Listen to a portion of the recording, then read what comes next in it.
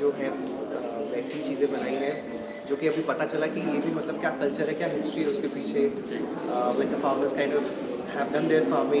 play that instrument they would in a group that's how we have world paintings जो कि कभी किसी I think बताया नहीं, हमने भी पूछा नहीं और समझा ही नहीं। सो बहुत सारी चीज़ें ऐसे सीखने को मिलती हैं and I think what they are doing is commendable Uh, can't even match what they are trying to do and give back to the society.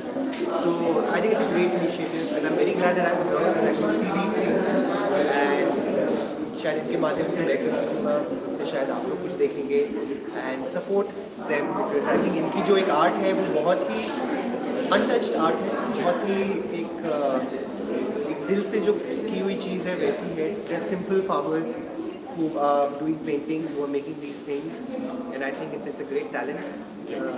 जो कि कभी कभी हम लोग इग्नोर कर देते देखते ही नहीं है so this is this good platform where I think they have showcased it on one platform and everybody can see it. So nice, very good, great job. Richa ji आपसे भी मैं ये सवाल करूँगा कि करण यहाँ पर आए हैं बहुत दिल से जो है वो पेंटिंग्स का नज़ारा जो है वो उठाया इन्होंने क्या क्या कितनी कितनी अलग पेंटिंग्स और जो जो मैं देख रहा हूँ जो जो जिन लोगों ने ये पेंटिंग बनाई है, वो भी बिल्कुल अलग है। किस किस तरीके से आप को सपोर्ट कर रही है समता फाउंडेशन सपोर्ट कर रहा है?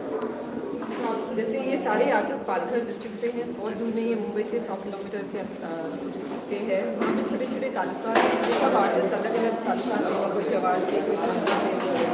मोस्टली ये बार्ली आर्ट करते हैं। बार्ली एक ट्राइब है पालघर का, जो एक्चुअली वो घरों पे, दीवारों पे करते और यूज़